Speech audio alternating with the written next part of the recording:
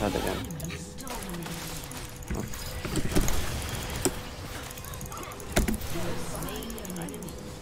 She has no ulti. No, I agree. Qiyana doesn't care. My E just slowed her. Oh.